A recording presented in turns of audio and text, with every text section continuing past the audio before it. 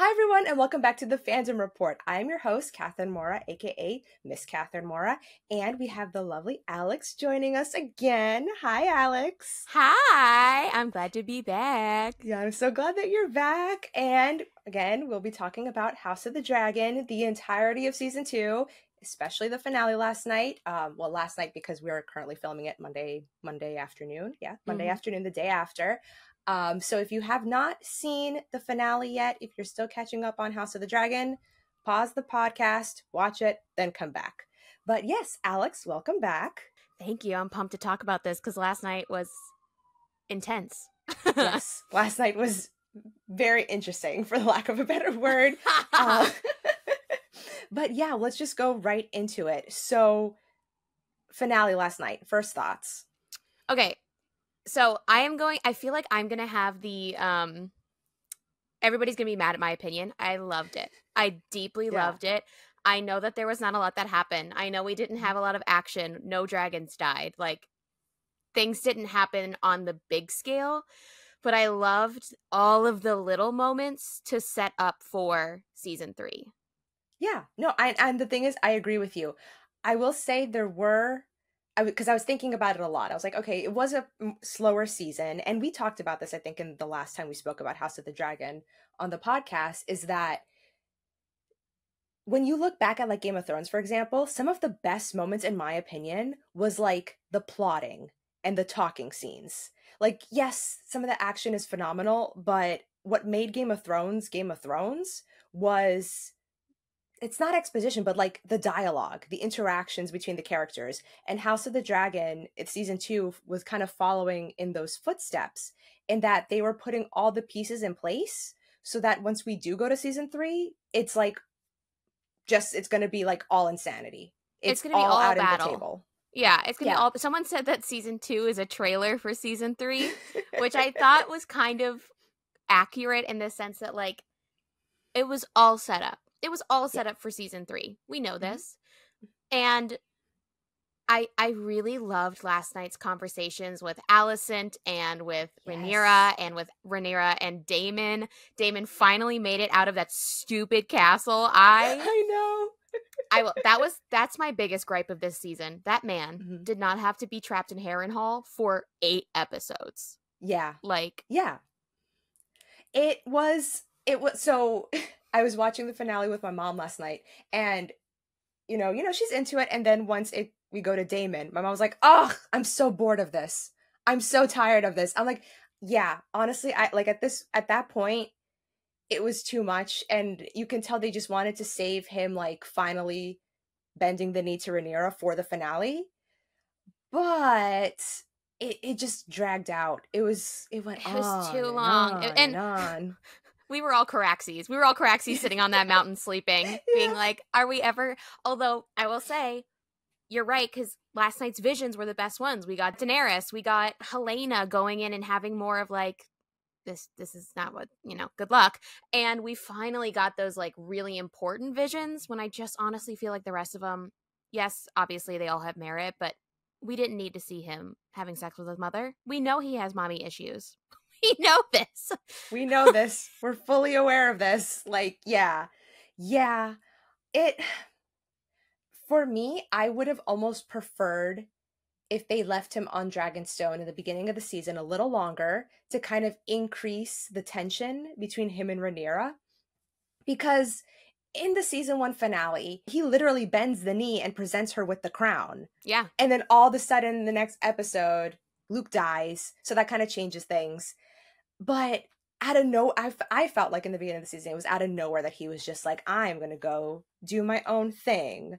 Like, to, I always felt like he was supposed to be like a parallel to, um, to Lord Corlys, Mm-hmm. where like he's basically like supporting his woman because his woman deserves the throne, essentially and then all of a sudden he's like i i want it for myself and it's not until he sees the visions when he was approaching the the um the weirwood i was like oh god i just flashed back to bran i have so Yeah. much ptsd when it comes to bran All the trauma with Bran. so much Bran trauma but I mean, yeah, when I saw the three eggs and then Khaleesi, I was so happy. So happy. Oh, it was so good. It was like, uh, and then I will say that whole scene of him talking to her, and when she was like, "If you leave me again, I'll essentially Yes. kill you," and he was like, "I already tried once." I was like, He's "Oh, like, I love my wife.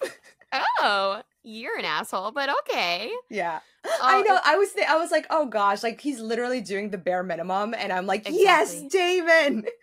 I I literally made a thread that was like BRB falling back in love with Daemon, gonna go watch all the thirst traps again because that one scene I was like, oh, oh, Yep. okay. But also speaking of Lord Corlys, him Mhm. renaming his ship the Queen Who Never Was. I have chills just thinking about it. Wrecked me. I was like, sir. He Oh. was so in love with that woman. He loved And yet so he much. cheated on her. But he Yeah, is yeah. so Well, I mean, in in that realm, in that Yeah. like universe, like yeah. I think the only different. man who like loved his wife and didn't cheat on her was like Ned Stark Exactly. And Robb. and, And- Robb. I mean, Yes, Robb didn't really have a, I a mean- choice or a chance to like Yeah. I mean, and also Robb is kind of like with a little asterisk because he was technically promised to another woman, and then Yep, yep. You right. and then you he was like, actually, I I already slept with this one, so I'm gonna I have to marry her at this point. "Oh lord, yeah." I this poor this, the, the infidelity is so, and all of us are just like, okay, Yeah. sure, I mean, just- because when you have infidelity next to like incest, it kind of makes the infidelity not seem that bad. My roommate was like, "How is Jace related to Damon?" And I was like, "I think he's his stepfather cousin." and I was like, I was like, or stepfather uncle maybe twice removed, literally. Yeah, because if that's that if that's Rhaenyra's uncle, so it would be his grand uncle Grand uncle. Yep, grand, Granduncle uncle slash, stepfather. This show. Oh, bringing the bastards in though. Freaking Yes. oh, what was his? I, I wrote his name down because Ulf.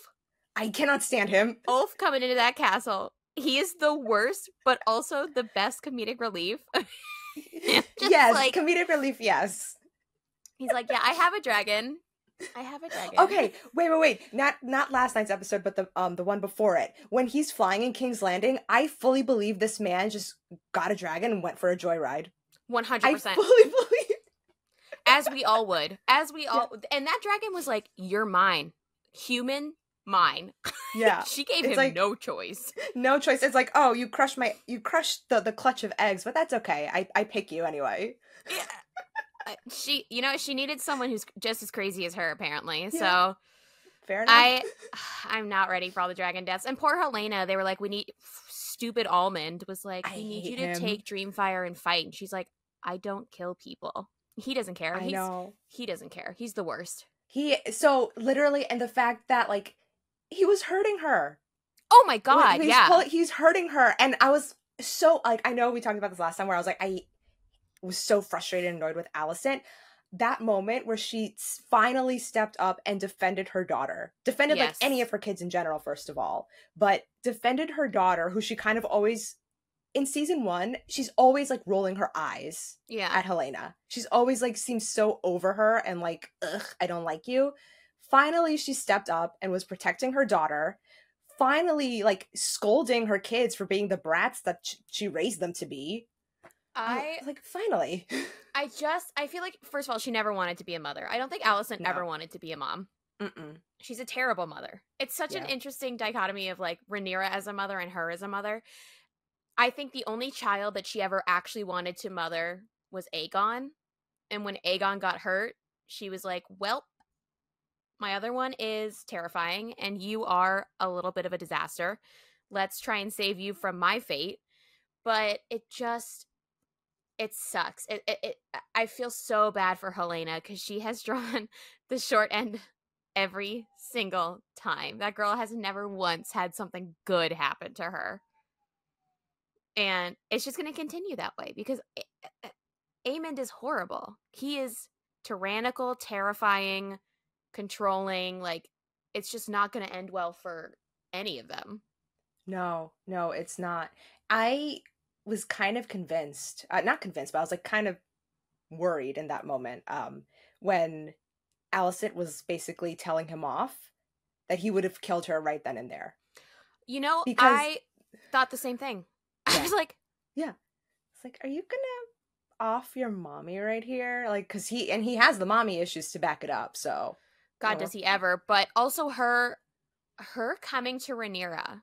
Yes. That last, also the fact that she was wearing blue, and we haven't seen her mm-hmm. in blue since before this all happened. It's like her mm-hmm. truce color, essentially. I was like, the symbolism here is so beautiful and also so heartbreaking because she really thought Rhaenyra was going to be like, yeah, we can run away together. that was the part when, like, at towards the end of that conversation, she's like, "Come with me." I'm like, "Were you not present for like the entirety of this? Not not just this conversation, but like the last season and a half." I, I like I was so shook by that. It's and when she was talking about like when she was laying laying with um Crispy Cole and mm-hmm. and Rhaenyra's like, "Oh, you laid with someone and she was like i know you have too. Like she tried to turn it back on her and it's like no yep. no no. Yeah because her anger that Rhaenyra slept with somebody out of wedlock that she slept with Cole was what kind of started her whole distrust and resentment towards her and which she which she brings up she was like oh you know because Rhaenyra was like oh but you always said you know like your your virtue you wore it like a banner. She's like yeah because you you know you were always flaunting and disregarding like being being virtuous or whatever. And so it goes back to, and i think it kind of ties back also to what you were saying about the differences between them in terms of being mothers. Whereas Rhaenyra we saw time and time again she did not want to be a mother she was like i don't want to have babies. Like it seems like so pointless that i'm just going to get married and just basically be a, a, a breeding a machine yeah a machine like a breeding machine essentially popping them out. Whereas Alicent and she touched on this in the conversation in the finale where she was like i never really knew what i wanted. I just kind of went with what was expected of me and what was expected of her was getting married and having babies um with the king because we saw her father pushing her to to do that despite her obvious like discomfort. She didn't want to be like you said she didn't want to be a mother Alicent. she didn't mm-hmm. want to be a mom but she kind of just accepted that role because it was what was expected of her but she sucked at it. Rhaenyra didn't want to be a mom and she's such a good mom. Like the, I, the amount of love and affection she showed those boys and I think it's because she had babies out of actual love with Strong. And I think sh- she created life through love, and Alicent created life through hate, which shows with mm-hmm. her children. Because yeah. all three of her kids, besides Helaena, but still Helaena, are just hatred. Hatred and anger and resentment. And all of Rhaenyra's kids are love and acceptance and like family unit based. I mean, honestly, if Aegon had died and when when Aemond, you know, burnt him to a crisp, I don't think either of those children would have cried. I think Aemond because he probably would have killed him, but also Helaena because she hated him. When Luke died, Jace was a mess. Jace was a mess and crying, and like that is that just shows the differences, and it's such, it's so sad. It's just so sad. And poor Jace. Yeah. Jace just wants to be Mama's good soldier. And she's like no sit your ass down. We do not we're not doing this. Well it's so it's funny that you mentioned that because he does want to be her good soldier. And like there are more ways to do that besides flying into battle. Like that moment where Baela like finally knocks some sense into him she was like jet you're supposed to be by her side. You're supposed to be supporting her. Like and then he finally he spoke up like in agreement with his mom at the dinner. I was like okay finally like i get it things aren't exactly going the way you want them to you want to like make a name for yourself like you know distinguish yourself from every because he has you know that all that insecurity about being a bastard. But i'm thinking if there's there's already a war happening your mom needs all the support she can get because if she does not win this war she does not become queen you do not ever become king if anything you guys will be killed if you lose the war. So maybe show your mom a little more respect, a little more support. Just just a thought. Just just a little bit. He I God, I I'm I was really worried that he was gonna die. I'm gonna be honest. I thought if we were gonna yeah. lose anyone that episode, it was gonna be Jace. He was gonna fly into battle without clearing it with anyone and get murdered because he just seems so v- volatile that I was like, he's going to do something bad. He didn't, thank God, but I was prepared to be sad. well, there's always next season. it's gonna. Oh, yeah, yeah. I mean, and then we got Rhaenys. We didn't get to see her claim her dragon. I'm so upset about that because she was wandering in the forest for two days. We finally see this gorgeous dragon, and then that's it. Yeah, I mean, who knows if that's how the season's gonna start? Like her, you know, claiming the dragon. Maybe who knows? Um, it kind of goes makes me think of what you were saying before. How somebody's like, "Oh, this was like a trailer for season three. Like those last. I don't even know how long it was, um, but that last montage in the episode when the piano started playing,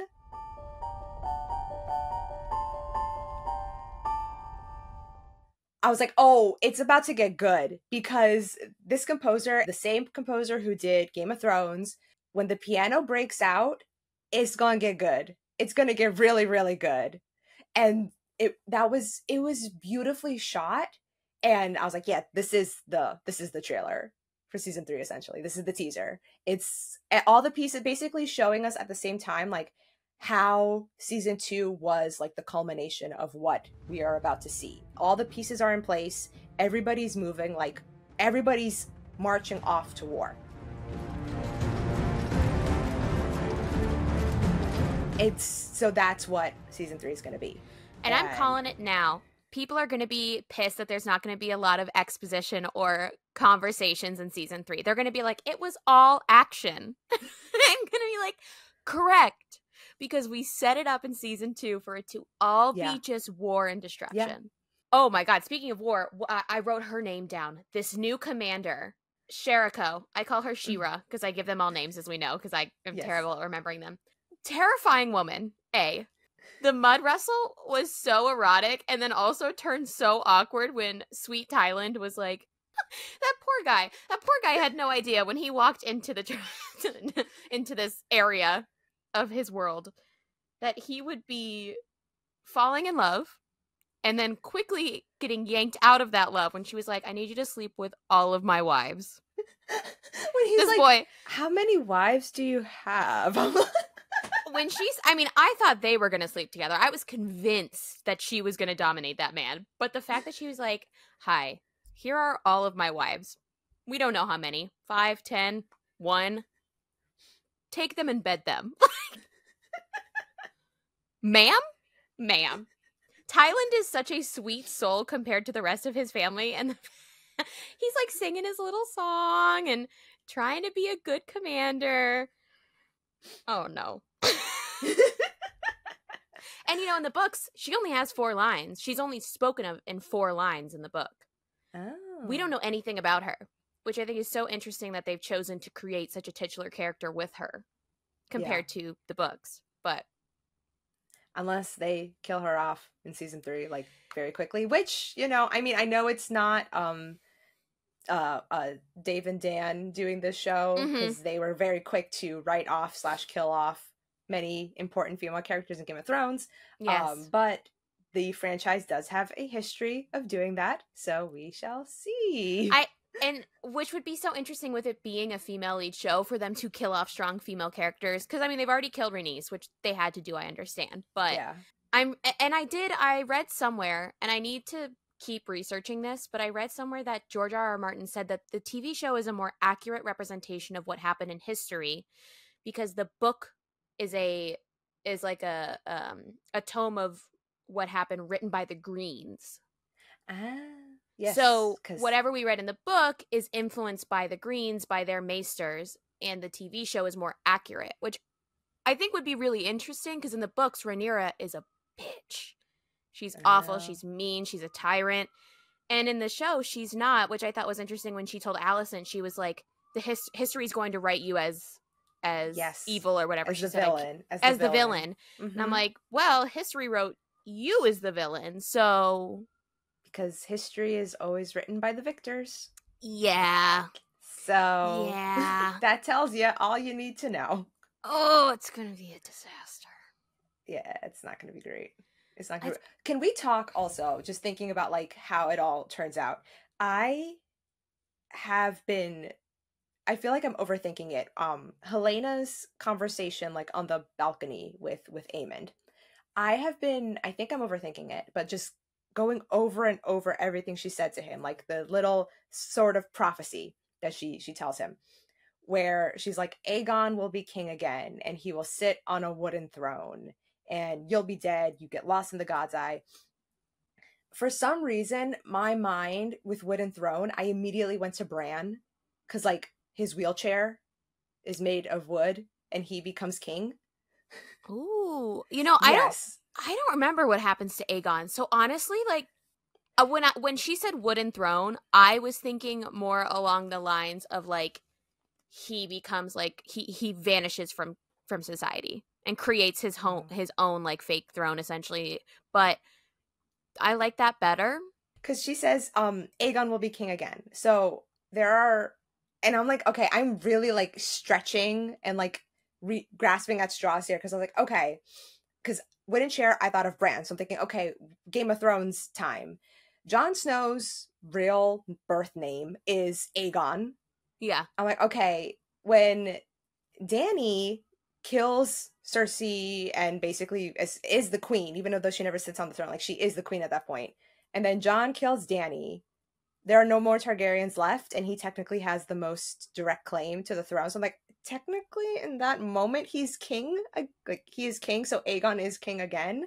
But then the king, the the eventual king, like sits on a wooden chair, Bran in his wheelchair. I mean, I, I, I don't think that's super far fetched because you're right. You're uh, uh, the Aegon sits on a wooden throne. It doesn't mean it's him. It doesn't mean it's him. Yeah. I mean, Aemond dying, yes, that needs to happen, but that that would be interesting. I where were they going at the end? I couldn't catch that. Where where were they traveling off to? They're running away. They're running away. That's what I thought. They're he, just like yeah. disappearing into the wilderness. That's what I thought. Um, but here's the thing. Here's the other thing too that makes me feel like I'm overthinking it because Aegon he keeps saying himself he's like I'm a cripple now. Like he's saying he can't walk and everything. So I'm like, so technically wooden chair could also be for him if they put him in a wheelchair, like like Bran. I don't know. Um wooden chair could also still be Jon Snow because the like the throne, the quote unquote yeah. throne in Winterfell is made of wood, and that's like the only time he like really was like officially king. Yeah, when he I was king I, in the north. I could see that happening. Either way, and with the wheelchair, when he was like, when he was like, my penis exploded like a sausage in a fire, I was like, sir, sir.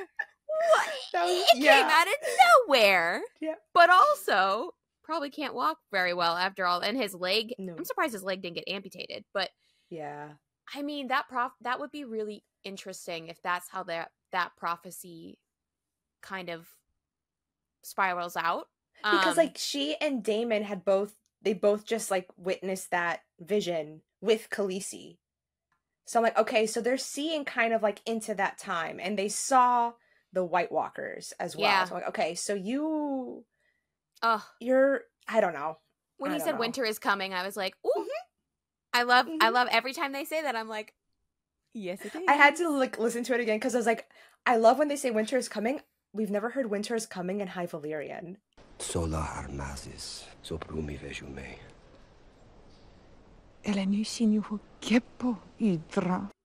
Their Valyrian conversations are so beautiful. It's it reminds me of Elvish yeah. very much. Obviously, mm-hmm. that's what it's supposed to, but it's so musical and stunning and both of them do it so well that I'm just I'm just drop in awe.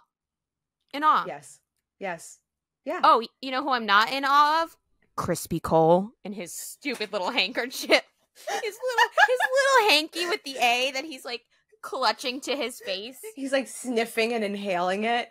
And I loved her brother just like threatening him. But then at the end of the conversation, he's like so broken and just sits down next to Cole. I'm like, they are this two, man is a disease. They are messed up. Those two are like a bad boy band. Like they are. they have just failed miserably. I and he, he knows that it's his sister that he's been, you know, and he's just sitting there watching this man cry into her hanky, like, that's the queen. Are you dumb? Like, queen, whatever now. Like, that's sir. Oh my god, I hate him so much. So I was texting a friend about it last night. She goes, "Why do you hate him so much?" I was like, "He just bothers me. Everything he does bothers me." Yeah. No, I mean, especially like I feel like if you don't hate Cole, you didn't watch season 1 and you didn't watch the beginning of season 2. He gets so cuz okay, we were talked about this in the last episode that we talked about House of the Dragon. The whole thing with like the hands all around his thing. And what did we say? We said he could have just done like a simple like in like engraved. I don't know if engraving is the right into, yes, yeah. into his thing. And what did Lord Corlys did? Exactly that. Just one singular hand like molded into his armor. Very simple. And but no, Cole's got to be like, I have all these hands around my neck because I am not I only Lord Commander, I am also Hand of the King. Literally, oh my! And then them bringing Otto back just to put him in jail. I was like, Is that is that who that was in the jail Yeah. cell? that was Otto? I I'm looking at this man. I'm like, who are you? Yeah, I could not recognize him. That was I thought- Otto. Yeah. I thought they brought him back to be the hand, but I guess they ju- he just wanted to put him in prison. I was so confused. Aemond is a mess. Oh Aemond my- is a mess. I thought he would he was going to try and have Helaena sleep with him. Mm. I was convinced that that It was, going to be the at next in step. season one. Yeah, I was like, I think there might be some type of lore that maybe one of her kids is his, not the twins. I don't. I think they have three. I don't know. Um, that like maybe the kids are his. If I remember correctly, I could be wrong.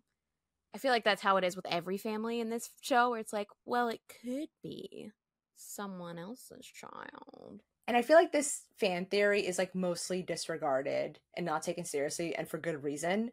But I remember there was this theory that Catelyn Stark's kids are not like some of them are not Ned's kids. Cause there's like a very distinct thing in the book about how like only Arya and Jon look like Starks. While all the rest of the kids don't have like any Stark features whatsoever. They all look like Tullys. So there's like this theory that some Oh. of the kids were actually um Catelyn and Edmure's bastards. I mean, that would also make sense because they're the older ones, and the besides Jon, like Arya's the youngest, and Jon was the bastard who they, you know, so that would be interesting. That I'm still mad going to Game of Thrones. I'm still mad that they took away Catelyn's full story arc where she came back from the dead and avenged her family, and they just took that out. Yeah, they're like, yeah, we don't care about. Uh, going back to what I said before, they just write off and disregard female characters. But hopefully that is not the case because it's a different showrunner. Well, they can't. Well, they can't because the two leads are females. Plus, I mean, Yeah. now we also have Baela. We have Miss Mysaria. Is that the the her Yes. her girlfriend who's not her girlfriend, but they made out. um, loved that. Uh, Mysaria, Alicent, Rhaenys. We have so many strong females. Helaena. If they write all of them off before they write off Aemond and Almond and Crispy Cole and Daemon and all of them, I'm gonna be so mad. I think they're going to switch around the death order. I think they're not going to go in the same order as the books because they would lose too many big names before they before some of the smaller people die. But see, you know what? I would almost find that interesting because that it, that was one of the problems with Game of Thrones that too many big characters, too many of the main characters towards the end of the show had so much plot armor. Yeah. So then when they did end up dying, it was like in stupid ways, like Jaime and Cersei dying under a bunch of rubble. But then like in the, during the long night, like no one really died. Yeah. Like no like big like big like Big main names. characters died during the long night where they were fighting the unstoppable army of White Walkers. Whatever. So I think it would be interesting if they do like just kill off some of the kill yeah. off some of the big maybe not all of them, but like Yeah. maybe well, half. and I'm also like, where is this going to end? Are we bringing it up to Game of Thrones, or are we to to the Mad King, or are we only doing through like Rhaenyra through her life? Because they haven't really specified that. I've heard slash read, I should say more specifically. I've read um I read one article that was like they kind of want to do like an anthology where they'll have like a few seasons dedicated to specific points in Targaryen history, but it that kind of seems to conflict with the fact that they're currently in production for the show called A Knight of the Seven Kingdoms, which is about Sir Duncan, but also a Targaryen is like co-leading the show. So I'm like, if House of the Dragon is supposed to be an anthology about different points in the Targaryens' history, it doesn't really make sense they have a separate show that involves a Targaryen unless it's like not going to be focused on the Targaryen. The Targaryen is kind of like a side character. I'm not sure. I didn't even know there was going to be another Targaryen show. The only one I've heard of is the Jon Snow show. The Jon Snow show. I didn't even know that there was going to be another. Listen, I love I love expanding on universes. Give me all the Marvel shows. I don't care if you don't like them, give them to me. Let's go. I'll I'll eat them all up. But they need to be about different things. They cannot we cannot have three shows about three different Targaryens. We need to have I would much rather you give me a Robert Baratheon origin story with um, Lyanna. Yes. I would rather you give me that story than another random Targaryen. But then that will bring in Rhaegar Targaryen because oh, he's in right. the, I feel like the, I think it's the fact that the Targaryens because they were the king it, it was the dynasty for basically the entire history of Westeros like you can't do like Westeros stories without the Targaryens. Because I know I would love a Robert's Rebellion like prequel whether it's a movie whether it's I would love to see Robert's Rebellion.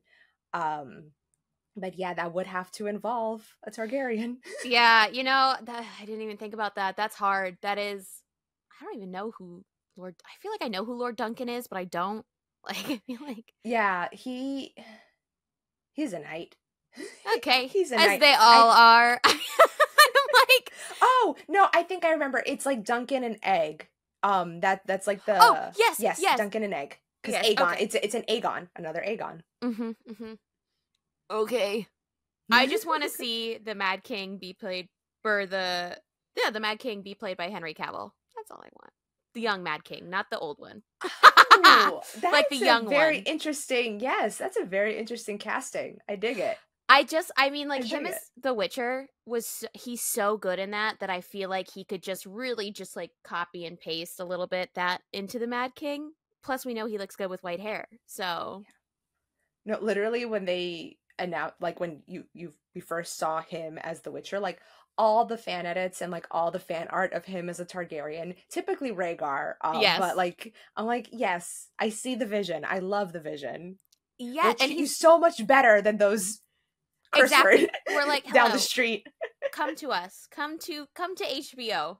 come yes. to us. Like oh, calling Superman. We're like, hello. I I mean, It'd be interesting. I would be down for that. I would be nervous, but I'd be down. I I will watch this little dragon show until it ends. It, again, just like Marvel, you give it to me every Sunday. I will sit on my ass on my couch with my glass of wine and I will watch it. I'm also an entertainment viewer. I've told my parents this. I am an entertainment viewer. I pretty much love everything. I don't critique things very often. Um besides like small plot things like like Daemon stuff like that. Like there are things that I will critique, but I generally love everything and you can just continue to feed me things and I'll be like, "Okay. sure. yes." Yeah, I feel like it takes a lot it takes a lot for me to like stop watching a show. Um cuz I'm trying to think like very different franchise, but Agents of Shield season season 3, the season 3 um mid-season finale that was when I was like, I can't watch this show anymore. What Be- happened? like they were on they were on uh that planet that like Jemma that that Simmons was stuck on oh, for that's for when I time. stopped watching. oh, did you? yes, because as soon as Jemma got trapped on that planet, I was like, I'm done. I can't. well, no, it was when um, like like Ward for- forced Fitz to go back there yeah. with him. Yes. Yeah, and then like and then I remember that's where Coulson kills Ward, mm-hmm. but then Ward is not dead. And I... am like at that point I was like I can't I can't watch this anymore. Mm-mm. I was rooting for Fitz and Jemma. The that's all I cared about was those two. And then when they became a thing and then weren't a thing and then became a thing and then she got trapped in a planet and then wasn't a thing, I was like, you know what? I can't do this anymore. I I think the only show lately that I just couldn't get through was A Good Girl's Guide to Murder. That's brand new though, but I read the book. I read the book and I will say I was slightly influenced by the book. So I was like, I don't really want to finish this, but I just I love I love I will eat all the entertainment. Like give it to me. Yeah. And like you said, we'll have critiques, but it's going to take a lot for us to like just stop. Exactly. I the one thing I wish I could have stopped was Kinds of Kindness, but I was in a theater and I could not. I could not stop that. That was escape. That was horrible. oh no. Oh, but yeah, I will I will continue to ingest this little dragon show, even though we all know it's going to be nightmare fuel and season 3 is going to be straight up death and destruction. Also, are we going to have to wait a year or 2 years? Did they confirm if it's next year or I would feel like it would be maybe late next year because they already confirmed before season 2 even came out, they confirmed they were doing a third season and a fourth, right? the writers I don't know about the fourth. Oh no, that's that's I don't Has Been know- Hotel. That's Has Been Hotel. Okay. Yes, yes, yes. so before even uh season two even came out they confirmed season three and so that means the writers have the go ahead to start writing and working on the third season so because typically what happened why we have to wait so long is that these streaming services wait a ridiculous amount of time after a season drops to confirm that they are doing another season which then means that the writers aren't working on it because then they would be essentially working for free so, but because it happened so early on, um, I would hope that means the production can start sooner rather than later. I mean, and if that is the case, um, then hopefully next year. God, that'd be so nice. I'm so tired of waiting great. Two years for eight episodes. I think even Yeah. the first season of Game of Thrones maybe had ten episodes, or the second. Like I, Yeah. I the first uh, six seasons had 10 episodes each. come on. Like, I'm Yeah. so tired of this eight episode stuff. It's not. It's just not enjoyable anymore. I mean, it's it, enjoyable in the sense of like it's not enjoyable because like Stranger Things, they're giving us what four episodes, four hour and a half episodes. But I think it's, again, I think it's, again, two volumes and then four episodes in each, I think. I, I just know that wrong. a couple of them are an hour and a half, and I'm like, just just split those up. Give me two 45 minute episodes. I don't know why it's more palatable when they're like, here's 10 episodes that are 45 minutes instead of six episodes that are an hour plus. because that's essentially a movie it's Yeah. basically a movie at that point and a movie in like mentally it's just more of a commitment as yeah, opposed to like oh i'm just gonna watch my little my one little episode you're right. Actually, you're very right. I didn't think about that. It is like a movie, and we're not always ready to ingest a movie. Like sometimes you Mm-mm. need something a little easier.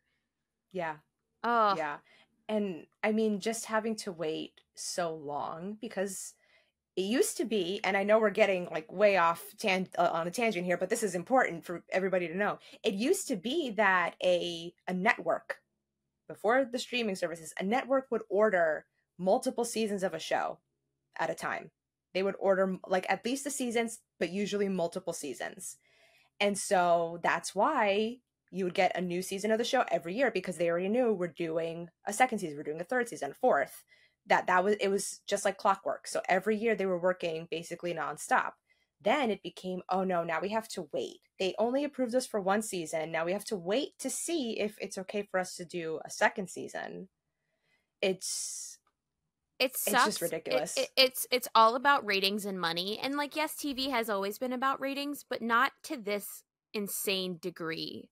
yeah It was so much harder to get shows canceled, and like yes, we have more things too. We have a lot more variety now with all the streaming services, but but it was a lot harder to get a show canceled ten years ago than it is now.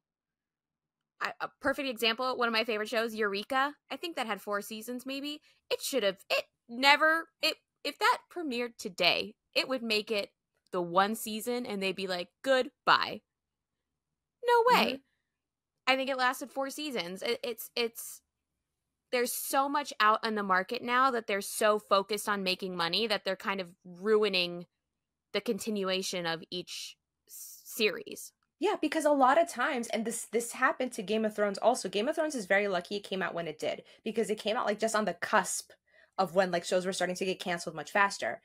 Game of Thrones was not popular until like I feel like the third or fourth season. No, agreed. Yeah. So imagine if Game of Thrones, as we know it, like yes, it ended horribly. That that's neither here nor there.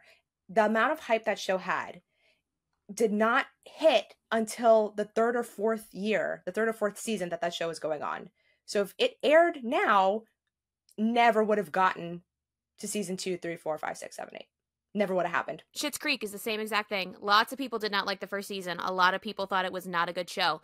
Did not get its its correct like push until the end of season 2. Really. Like you ugh, I just I'm tired. Ted Lasso. Ted, La- Ted yes! Lasso. Like I don't know. Honestly, I maybe they got like a three season order right off the bat. I'm I'm not sure because I remember it wasn't until the second season was like pretty much out Yeah. like entirely that people binged the first two seasons and then it became this huge thing. I was one of those people. Yeah. I didn't even really know about it until the until season 2. Yeah, because COVID, I think that's what that's what it was. Like everyone's like, "Oh, this cute little show, let's watch it." So imagine we would not have gotten the entirety, you know, all three seasons of Ted Lasso. It, it's just like let shows have a chance to grow, basically. Like House of the Dragon, to kind of circle it back, is very lucky in the fact that it's part of this like super successful franchise, and you know the first season re- did do so well that right off the bat they were like, you know what? Here's season two, but we're also approving season three. Like they kind of have the the benefit of the doubt.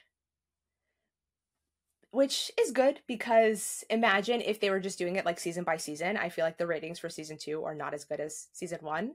So even though they like left it off on this cliffhanger where they're putting all the pieces together, like another streaming service might have been if it wasn't part of like the Game of Thrones franchise, another streaming service might have been like, you know what? Actually, we're gonna just axe axe this show. No season three. I think the writers probably had a, a bit to do with that too. And we're like, listen, this is a big exposition season. Please renew us. I wonder if they like petitioned to be like, we know that people are not going to like this season as much, but it is integral to the creation of season three.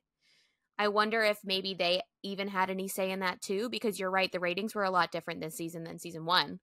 Um, so it it just needs they need to grow, and this one I think grew so well and I didn't mind that it was slow. I like that it was slow. I got we got lots of character development. We learned about a bunch of characters. We saw so many happy dragons. like we only lost one dragon this season. Two. We lost two. We lost two, yeah. We lost Well, two. um, Yeah, Ray, yes. uh, Rhaenys and Aegon's. Um, yes, yes. but we also gained three: We um, Vermithor, Silverwing. technically, Dreamfyre is like Yeah, and Seasmoke. But Seasmoke we had and then lost. So Yeah. five. Yeah. So we gained a bunch of dragons. Yeah.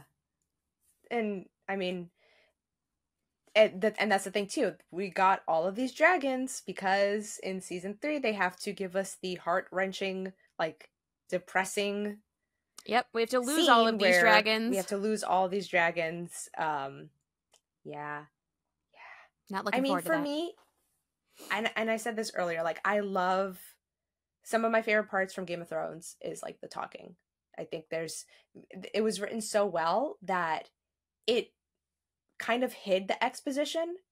Like it it was character growth and it was exposition, but it was also humor, but it was also like plot twists and drama.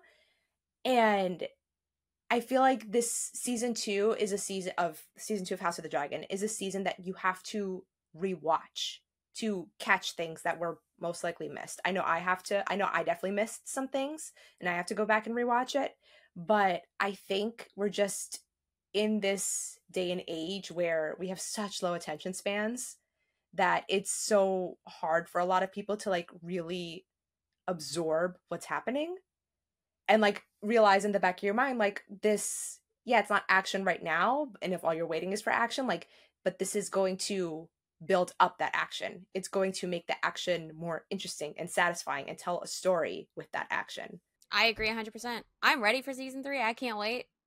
I also am not ready because I know we're going to lose lots of dragons. The humans I don't really care about. The dragons will be horrific. Um, God, I can't wait. no it's funny it's funny you say that um that the humans like you, you don't care like i am struggling to think of a character that i am really rooting for like obviously i want i'm like team team black i want Yeah. Rhaenyra to ascend the throne but it's I it's hard for me to like be like this is a character who this is my favorite character. This is the character I am rooting for. Like and I I I I want your take like is that intentional that like the writers are making it hard to really fall in love with these characters? I think so. I think they want you to have a I think they want us to watch it on a screen of like of of knowing that it's going to end in despair. I think if they connect us to too many characters, we're going to get way too attached and then people are going to get really extra mad when they die. Even though we know they all die, like we still it's hard to form a deep connection with a character. I think the one that has captured everybody is Rhaenyra really. She's the one that most people truly connect with. The character that I root for the most, even if I mean, and even if she died, I still wouldn't be super sad, but I'd be sad as Baela. Like that's the one character that I'm kind of like, you could do this.